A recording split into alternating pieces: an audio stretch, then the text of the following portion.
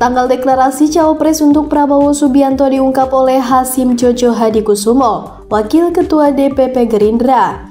Ia menyebut pengumuman bakal cawapres pendamping Prabowo tanggal 19 Oktober 2023. Namun Hasim tidak menyebutkan siapa yang akan menjadi bakal cawapres Prabowo di Pilpres 2024 nanti. Hanya saja ada beberapa nama tokoh yang saat ini masih pihaknya pertimbangkan, Salah satunya Hovifah Indar Parawansa yang kini menjadi Gubernur Jawa Timur. Masih kita pertimbangkan untuk deklarasinya sebelum tanggal 19 Oktober, kata Hasim yang juga adik dari Prabowo Subianto saat menghadiri peresmian auditorium Kiai Haji Muhammad Maksum di Pondok Pesantren Al-Islah Bondowoso pada Sabtu 7 Oktober 2023.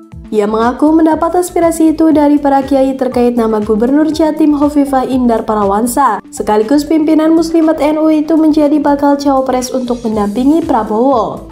Hasim menambahkan, salah satu pesannya itu dipertimbangkannya nama seorang kepala daerah Jawa Timur, pimpinan Muslimat NU menjadi calon wapres Republik Indonesia. Sementara itu, pimpinan Pondok Pesantren Al-Islah sekaligus Wakil Ketum Autada Kiai Haji Toha Yusuf Zakaria mengatakan, Munculnya nama Gubernur Jawa Timur Hovifah itu merupakan usulan dari Kiai Kiai Autada.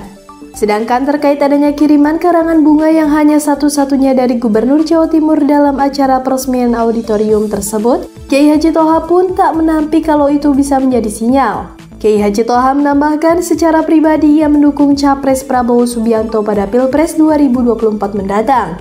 Karena menurut Kiai Haji Toha, Indonesia butuh sosok pemimpin yang tegas, kuat, dan paham geopolitik. Ia menilai Prabowo punya kriteria tersebut.